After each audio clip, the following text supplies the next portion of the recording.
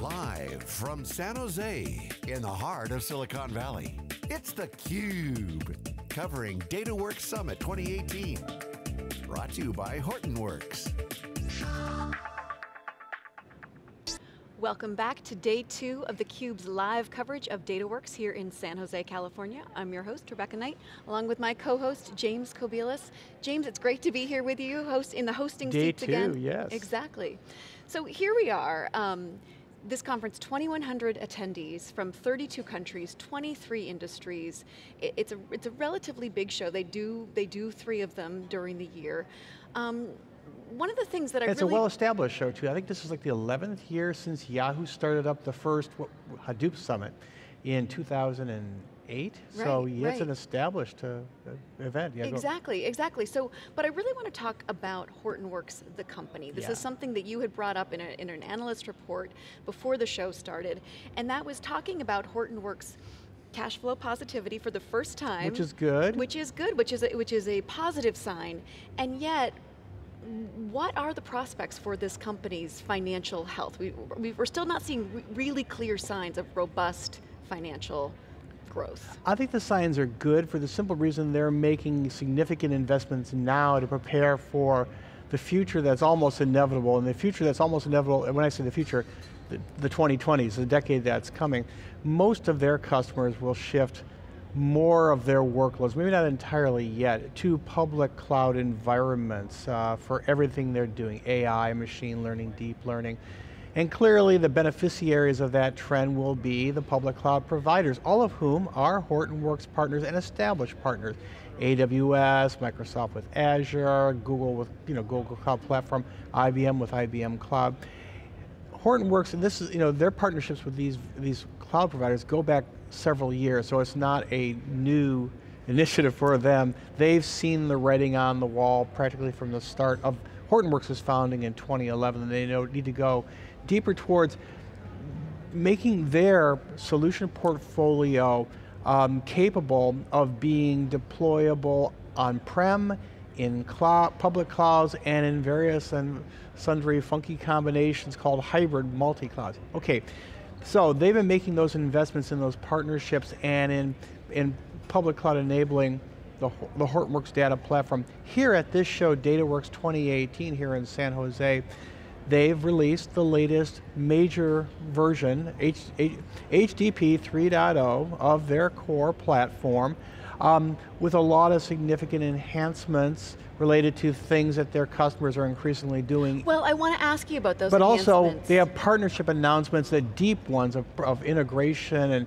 and you know, lift and shift of the Hortonworks portfolio of HDP with Hortonworks data flow and data plane services, so, it could, so that those solutions can operate transparently on those public cloud environments as the customers, and as and when the customers choose to shift their workloads. Because Hortonworks really, like Scott Gnau yesterday, I mean, he just laid it on the line. They know that the more of the public cloud workloads will predominate now in this space. They're just making these speculative investments that they absolutely have to now to prepare the way. So I think this cost that they're incurring now to prepare their entire portfolio for that inevitable future is the right thing to do, and that's probably why they still have not attained you know, massive rock and roll and positive cash flow yet, but I think they're preparing the way for them to do so in the coming decade. So the, the their financial future is looking brighter, and they're doing the right things. Yes. So so now let's talk tech, um, and this is really where you where you want to be, Jim. I know you. Oh, I get sleep now and. I don't think about tech constantly. yeah. So, so we, as you as you've said, they're they're really doing a lot of emphasis now on their public cloud uh, partnerships. Yes. But they've also launched several new products and, and upgrades to existing products.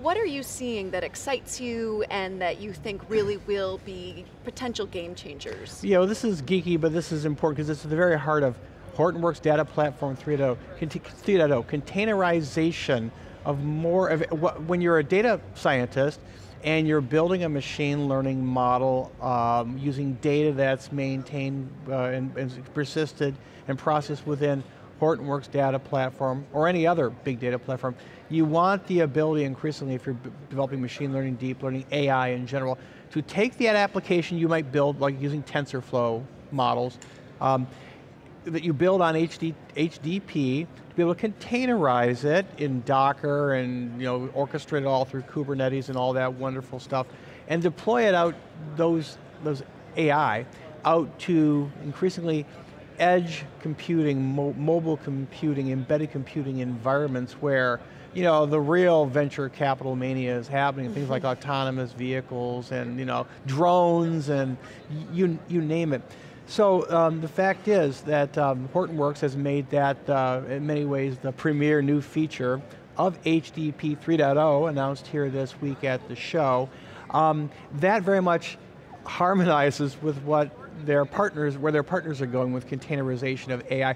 IBM, one of their premier partners, very recently, like last month I think it was, um, announced the latest version of IBM, what do they call it? IBM Cloud Private, um, which has embedded as a core feature containerization within that environment, which is a prem-based environment of AI and so forth. The fact that Hortonworks continues to maintain close alignment with the capabilities that its public cloud partners are building to their respective portfolios is important, but also Hortonworks with its, they call it you know, a single pane of glass, the data plane services for metadata and monitoring and governance and compliance across this sprawling hybrid multi-cloud, these scenarios. The fact that they're continuing to make in fact really focusing on deep investments in that portfolio so that when an IBM introduces or AWS or whoever introduces some new feature in their respective platforms, Hortonworks has the ability to, as it were, abstract above and beyond all of that so that the customer, the developer, um, and the data administrator, all they need to do, if they're a Hortonworks customer, is stay within the data planes services environment to be able to deploy with harmonized metadata, and harmonized policies, and harmonized schemas, and so forth and so on, and, uh, and query optimization across these sprawling environments. Um, so Hortonworks, uh, I think, knows where the, their bread is buttered, and it needs to stay on the DPS, data plane services side, which is why a couple months ago in Berlin, Hortonworks made it, uh, I think the most significant announcement of the year for them, and really for the industry, was that they announced the Data Steward Studio. In Berlin, tactically, clearly, it was to address the GDPR mandate that was coming up, but really, data stewardship as an end-to-end -end workflow for lots of you know, core enterprise applications absolutely essential. Data Steward Studio is a data plane service that can operate across multi-cloud environments. Hortonworks doesn't keep on, you know, they, they, they didn't have any DPS, data plane services announcements here in San Jose this week, but um, you can best believe that next year at this time at this show, and in the interim they'll probably have a number of significant announcements to, to deepen that portfolio. Once again, it's to grease the wheels towards a more purely public cloud future in which there will be Hortonworks DNA inside most of their customers' environments going forward.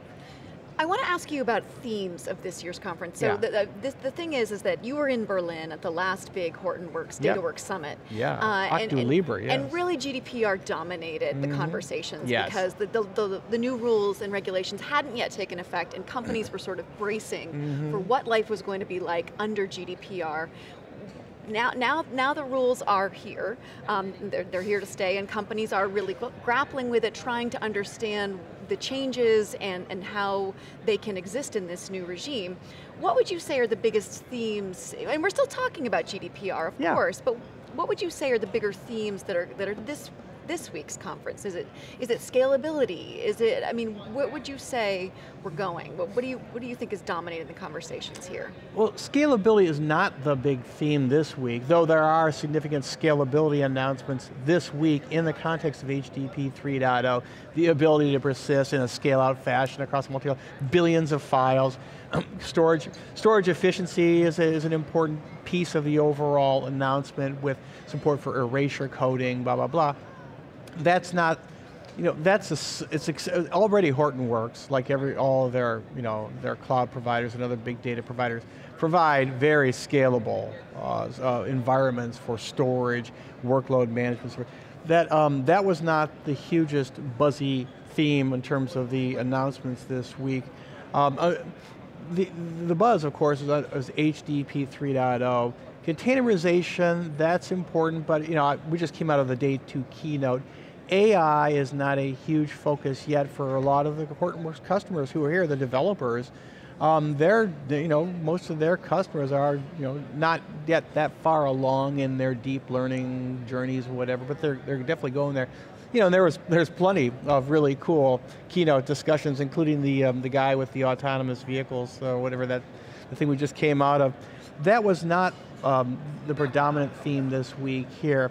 Um, in terms of the uh, HDP uh, 3.0, um, I, I, think what it comes down to is that um, with HDP 3.0, um, Hive, though you tend to take it for tend to take it for granted, it's been in Hadoop from the very start practically. Hive is now a full enterprise database, and that's the core, one of the cores of, um, of uh, HDP 3.0.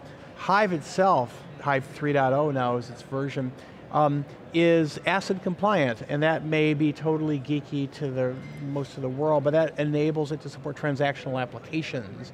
So more big data in every environment is supporting more traditional enterprise application, transactional applications that require like two-phase commit and all that goodness. The fact is, you know, Hortonworks, from what I can see, is the first of the big data vendors to incorporate those enhancements to Hive 3.0 because they're so completely tuned in to the the Hive you know, environment in terms of a, of a, committer.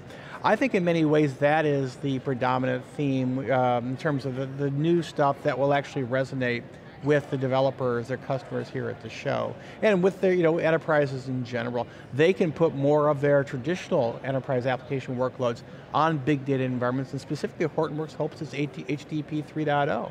So. Well, I'm excited to learn more here at the on the Cube with you today. We're going we've got a lot of great interviews lined up and a lot of uh, yes. interesting interesting content. We've got a great crew too, so this is this is a this is a fun show to do. Sure is. We will have more from day two of the